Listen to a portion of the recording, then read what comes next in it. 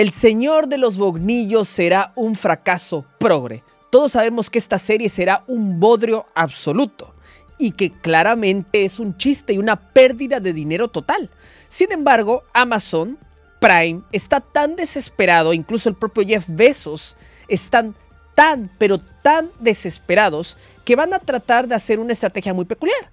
Esta gente intentará estrenar El Señor de los Bognillos en cines. Mira nada más. El Señor de los Anillos, Amazon, estrenará en cines los dos primeros episodios de Los Bognillos del Poder. ¡Boom! Ahí lo tienes. Tal como lo oyes. Los dos primeros episodios se estrenarán en cines. Y no solamente eso, sino que van a estar regalando boletos para que la gente vaya a verlo. Obviamente con esto van a tratar de inflar los números, van a tratar de decir, mira, llenamos las salas de cine. Ven a Amazon Prime y ve El Señor de los Anillos porque las personas fueron desesperadas a ver esta obra. Sin decir que muchos de los boletos o prácticamente todos fueron total y completamente gratis, regalados para llenar artificialmente las salas. Y la gente, como son NPCs, como prácticamente no saben, no se dan cuenta de que están siendo utilizados para eh, dar una estrategia de marketing. Mira, claro, tú puedes decir, a ver, me están regalando eh, esto, ¿no? Me están regalando la entrada para poder ir al cine. Y tú puedes pensar, pues voy. No, no, no, no, no, no, no. Esa entrada al cine no es gratis. Te están quitando lo más valioso de todo, tu tiempo. No hay bien más valioso que el tiempo. Y eso es lo que te va a quitar Amazon con este bodrio. La adaptación de Tolkien ha precisado eh, de una inversión millonaria por parte de la compañía. Esto dice el artículo. Y es real. La compañía ha gastado más de mil millones de dólares en este bodrio. La primera temporada casi 500 millones. Obviamente que sumarle el tema de que gastaron en los derechos y un montón de cosas. Y al final fueron casi mil millones. Pero sí, o sea, imagínate haber gastado esto en El Señor de los Anillos para que la serie tenga cuánto. ¿Cuántos dislikes tuvo? Casi 2 millones de dislikes en YouTube. Imagínate nada más. O sea, fue un desastre absoluto. La gente la odió. Increíble, ¿no? Impresionante. Pero sí, vamos a leer un poquito más. De un tiempo a esta parte, un número selecto de series va logrando el suficiente presupuesto y suscriben la IP necesaria para trascender su etiqueta de producto televisivo y convertirse en blockbusters. Hoy mismo podemos disfrutar de uno de sus exponentes, con el estreno de La Casa del Dragón, precuela de Game of Thrones. Mientras en el horizonte inmediato se divisan otros dos megatones lo que apunta a ser su competencia directa, El Señor de los Bognillos, Los Bognillos del Poder, en Amazon y Andor, bajo el paraguas de Star Wars en Disney Plus. Las tres series que acaban de mencionar tienen relatos woke, relatos progres. Eso esto es total y completamente real. De hecho, a ver, el de Game of Thrones es decente. Eh, lo hicieron bastante bien, pero claramente es una serie con ciertas matices progres. Eh, por parte del Señor de los Bognillos parece ser que va a ser un desastre. Y Andor, por Dios, Andor va a tratar sobre Trump, básicamente, sobre las políticas de Trump y ese tipo de cosas. O sea, por favor. O sea, Andor es un insulto al Señor de los Anillos. Es simplemente aprovecharse del nombre. Las tres series que estamos viendo, o al menos dos de las tres, no, en gran medida las tres, porque consideremos que los Anillos del Poder, sí, fue escrito por George R.R. R. Martin, que fue el de Game of Thrones, eh, pero fue creado en el año 2018. Entonces ya tenía este pensamiento, esta idea eh, walk hasta cierto punto. El punto es que yo quiero que entiendas lo siguiente. Estas tres series y muchas de las series que estamos viendo en la actualidad, incluyendo la propia She-Hulk, tienen una peculiaridad. Toman un nombre ya existente, una franquicia ya poderosa para crear su propio relato y su propia visión progre. Eso es Andor. Andor toma la franquicia de Star Wars para tocar un relato y una ideología política.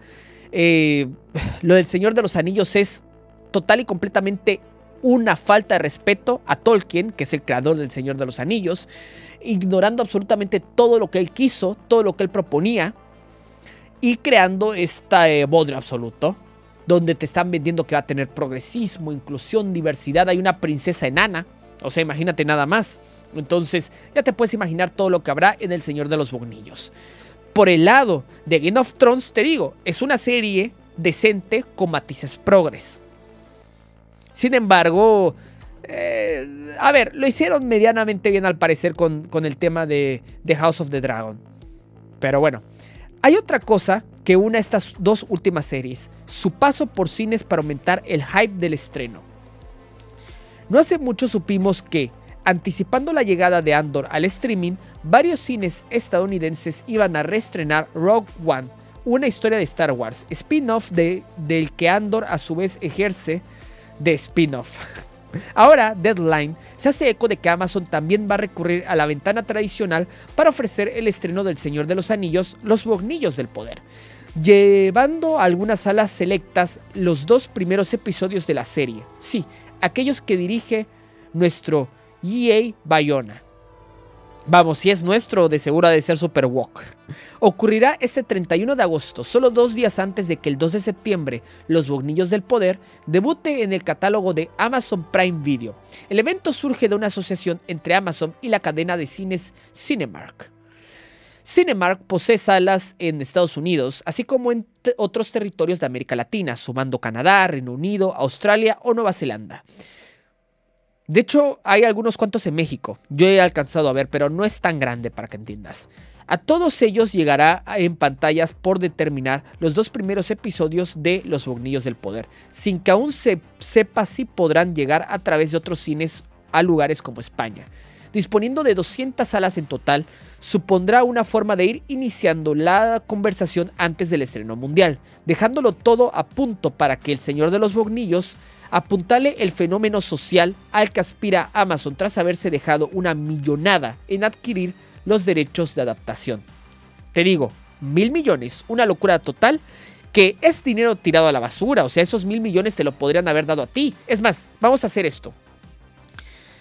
Piensa lo siguiente, la gran mayoría de los progres se lo dan de benefactores sociales, ¿no? Ellos dicen que quieren salvar al mundo, que quieren alimentar a los niños pobres y ese tipo de cosas. Esos mil millones de dólares hubieran sido mejor invertidos en darle dinero a dichos niños. En quizás eh, buscar la forma en la cual se les pueda ofrecer a todos esos jóvenes que no tienen dinero en países del tercer mundo. Bueno, países en vías de desarrollo. Él decía el tercer mundo es un mal concepto de la época de la Guerra Fría.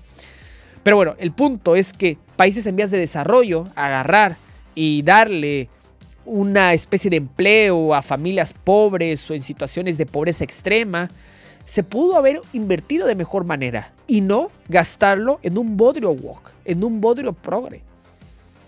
Al final del día va a ser un fracaso y van a tirar todo ese dinero a la basura y además Amazon, para su mala suerte, y eso es lo más gracioso de todo, escuchen muy bien esta locura, gastaron no solamente mil millones, sino que además se comprometieron a que harán al menos cinco temporadas de esto.